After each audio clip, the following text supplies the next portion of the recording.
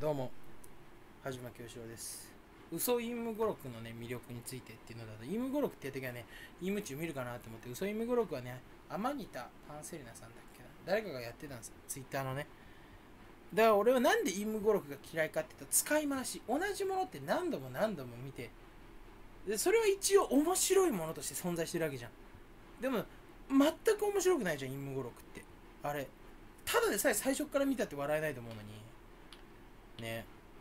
面白くないんですよイム語録イム語録使ってる人はねあの痛いんで本当に俺は俺がもし国を作ったとしたらイム語録は死刑になります。使った2回目で死刑です。1回目はさすがにねなんかもうすごい毒を飲まされます。50%の確率で死ぬ毒を飲まされて1回使っただけでもなんかもうなんか1回使ったらもうなんかもうでで3回使ったらもしね123ってね使ったりしたらねもうあれです。もう溺死し続ける。常にずっと溺死の状態のままなぜか永遠の命を与えられます、はい、ずっと苦しい苦しいっていう状態でねあの生き続ける。はい。なんてひどいこと言ってるんでしょうね僕は。気づきました。でもまあ別にななんでこんな陰夢語録でそれでみんな言ういや陰夢語録に親に殺されたんかって。殺されてません。あの、それマジレスすんのよじゃなくて、本当につまんないので、やめてください。陰夢語録が人を殺せるわけないだろうと思うけど、まあ殺せるだろうな。精神的ショックで。うわ、こんな哀れな人たちがいるんだ。あ、こんな人たちと一緒に生きてるんだ。っていうので、もうなんか、うっって死を選んで死んだ人も多分いると思うんですよ。俺は。あ、こんな低俗な世界に生まれてしまったのかって。やり直そうって言ってね。うっって死んだ人も俺いると思います。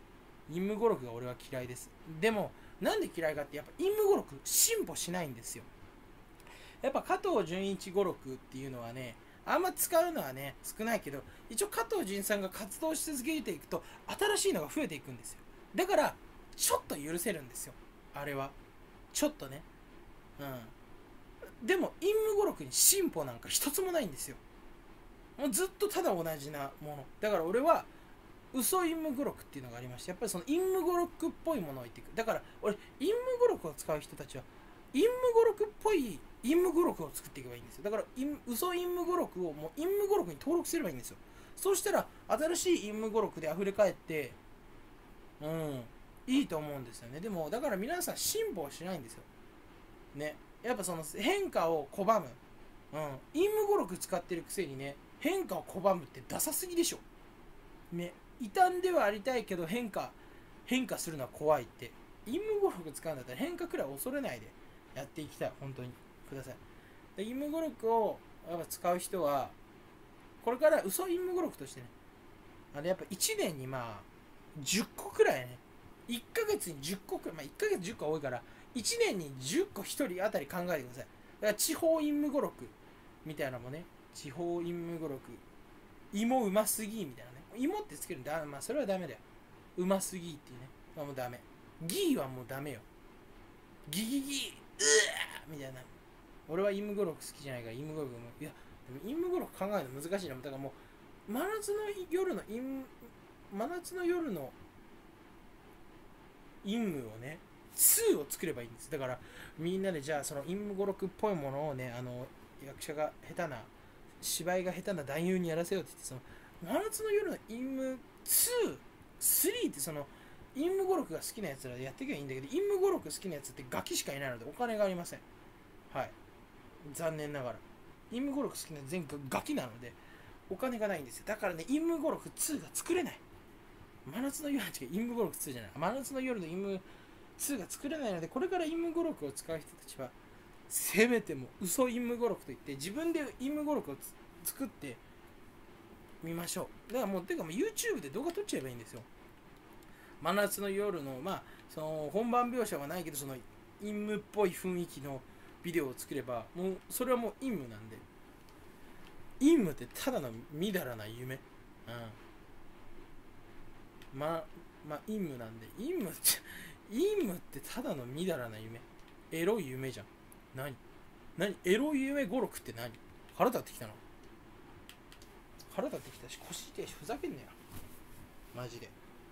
でも俺はバカみたいにイム語録使ってるやつよりちょっとイムの知識があるんですよ。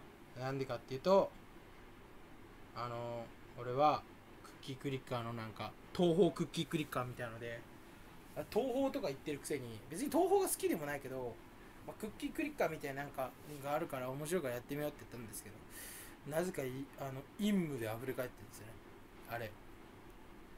意味わかんないでしょ。なので多分みんなイム語録使ってるやつはねドラゴン田中知らないでしょ。俺も知らないんですけど。絶対知らないからなドラゴン田中。うんみんな知らんだろ。ドラゴンドラゴン田中がいいのかわかんねえけど。ねイム語録使う薄っぺらいやつが多すぎる。やっぱり。まあワンピースでもやっぱ薄っぺらいやつ多いけどさ。まあいいんだよ別に楽しんでる分に。でも薄っぺらいので意見してくるなよって話なんで別に。にやかしねって言ってるわけじゃなくて。うん。薄っぺらいので薄すぎるのはやめてねっていう。だからあの麦わらの海賊団波言えないみたいなね。波言えないわまあ別にいいや。うん。まあいいよ別に。麦わらの一味。でもなんだかんだ言って覚えるのむずいからねうんルフィルフィでしょ？ルフィゾロナミチョッあチョッパじゃないウソップ。ウソップサンジ。サンジチョッパー。チョッパーロビン、えー、ロビンの次はロビンの次はフランキーだよな。フランキーブルックでしょ。絶対なんか一人乗っけてる。これダサいな俺今まで言えなかったら ルフィゾロ。ナミウソップ。ルフィゾロウナミウソップ。サンジ。チョッパーロビン、えー、フランキー。ブルック。ジンベエ。ビビカルー。合ってるよね。これマジでダサいぞ。言えてなかったら。でもいいじゃん。ダサい方が。うん。めちゃくちゃ面白いじゃん。薄っぺらいやつは言うなよ。とか言ってて。怖いな。絶対なんか一人忘れてるよな。ルフィゾロナミウソップサンジチョッパーロビン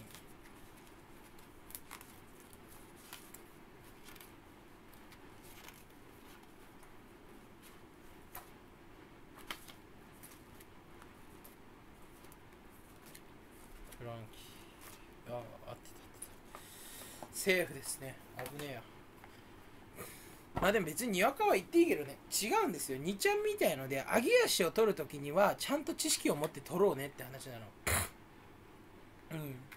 揚げ足を取るときは。それだけ別に好きで知識がなくてもいいんだけどあの2ちゃんみたいに揚げ足を取るときは完璧に知識を全部見てから揚げ足を取ってくださいね。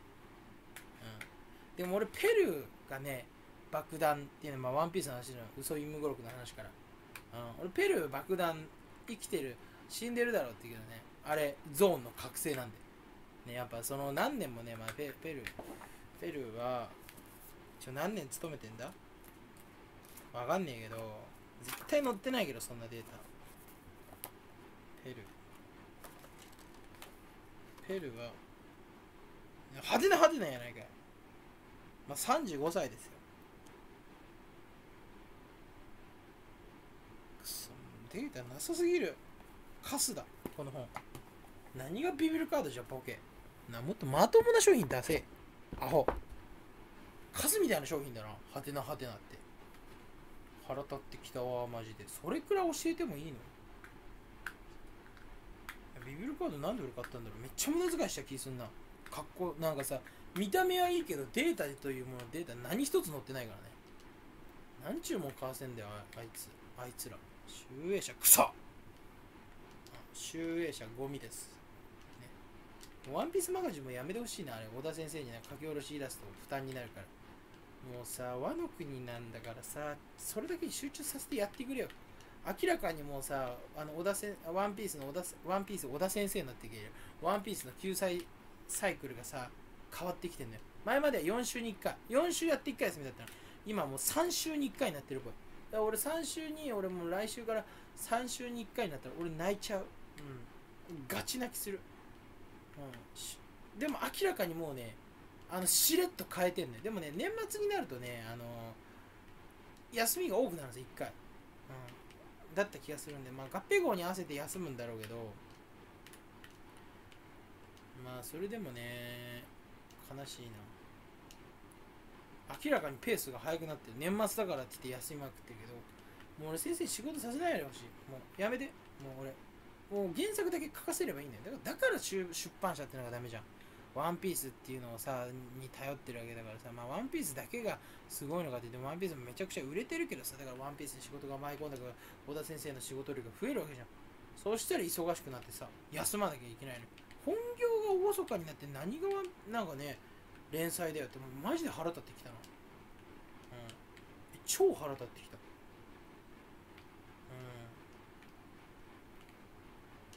うん。マジでめちゃくちゃ休むからな。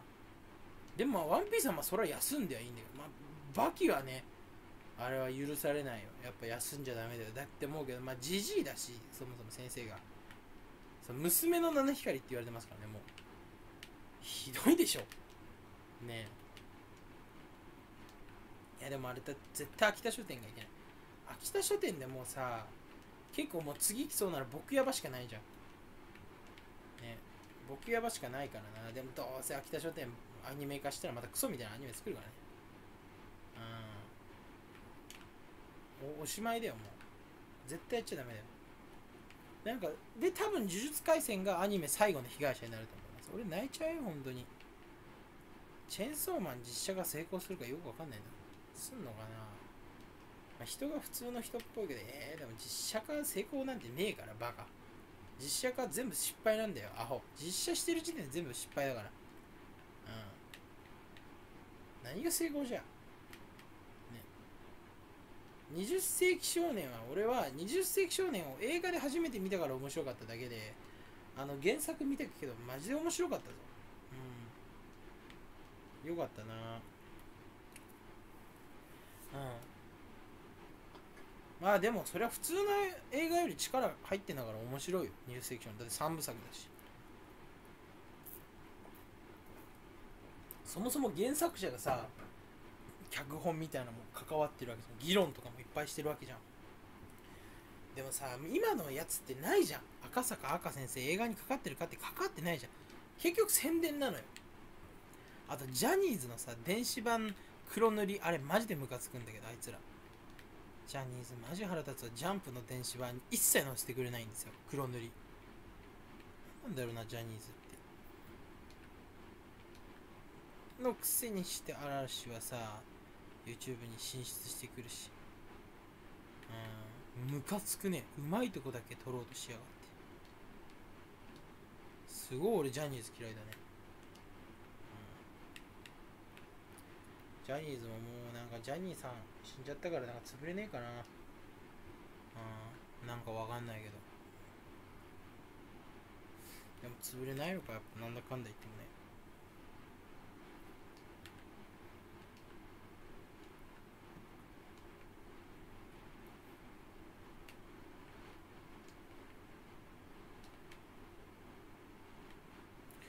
でワンピースも救済俺3週に1回になったらマジで泣いちゃうんだけど。ほんと苦しい。せめて5週に1回にしてほしいな。4週に1回が一番いいペースよ。あれがちょうどいい。でももう3週に1回になったらいつか2週に1回になるから。もうワンピースが毎週見れたらほんと幸せだよな。だって別に救済したって仕事してんのかわいそうすぎじゃない？先生。まあ勝手に仕事やるってのもあるけどだからといって仕事は増やすなよ。なあ。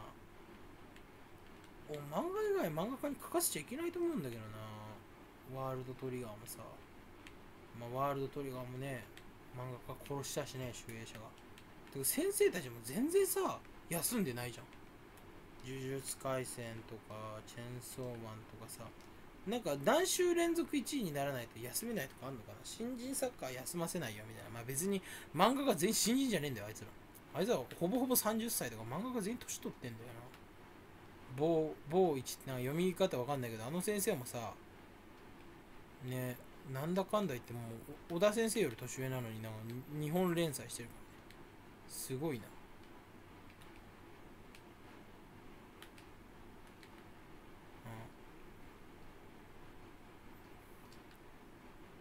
うんマクドもムカつくな。俺ちょっとマック嫌いになった。カラー関東頼みやがったから。マック。絶対マックのキャンペーンやるからワンピースに頼んだだろ東京ガールズコレクション的なのもな頼みやがって。頼むな。無駄に増やすなよマジで。うん。あれは。嫌ですね本当に。カラー関東ってすごい嫌だろうね。めんどくさそう。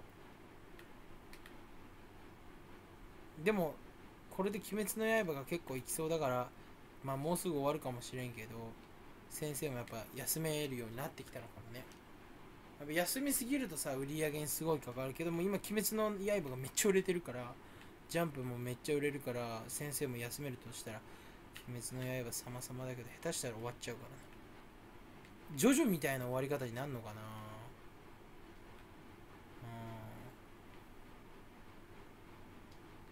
うんでもちゃんと倒してくれんのかな？ジョジョみたいにならない？でもジョジョも面白くなったからいいけどめちゃくちゃムカつくな。一部で終わらないって。マジでムカつくな。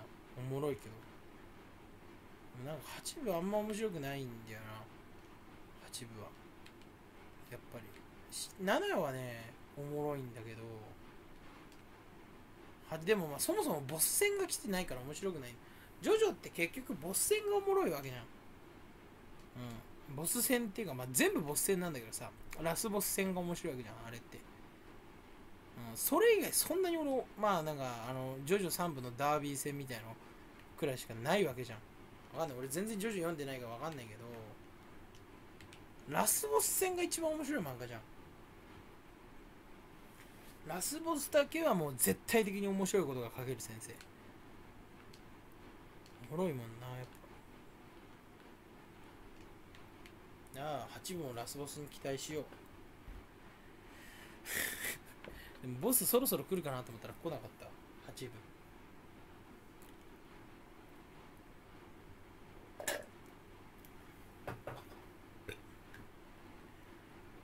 ジョジョも来年は何買おうかな。ドラゴンボール買ってでキングダム前半、えー、僕僕ヒーロー。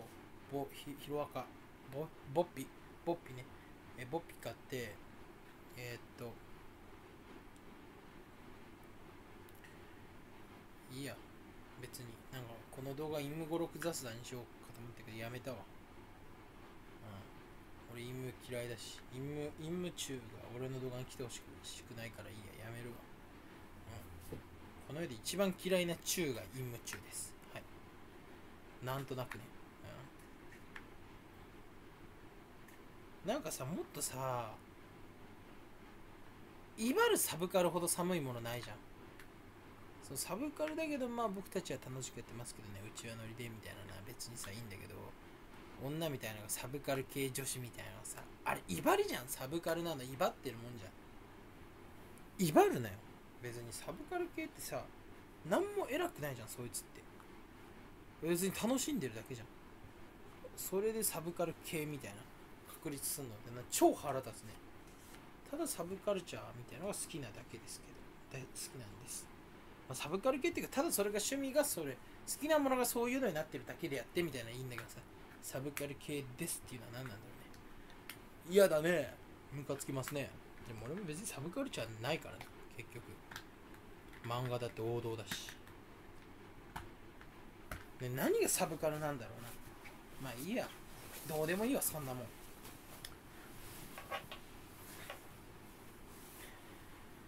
腰痛えあー来年は来年もいっぱい漫画買うぞ。いや漫画大好きです。今日はいっぱい悪口言ったな。でも鬼滅の刃面白いからな。うん。まあワンピースが一番好きだけどやっぱね面白かったらもう好きだよ。でワンピースは俺も大好きでめちゃくちゃ面白くてもっと大好きになってるだけなんでやっぱワンピースってなんかねしっかり読むとマジで面白い。あれは。でもなんだかんだ言って漫画一周できないからなみんな。基本的に。いや本当に面白いんだよ俺も。いやーよかったわ。妥協買い物しなくてよかった。これから毎日ワンピース読もうかな。しょんべん行こう。おしまい。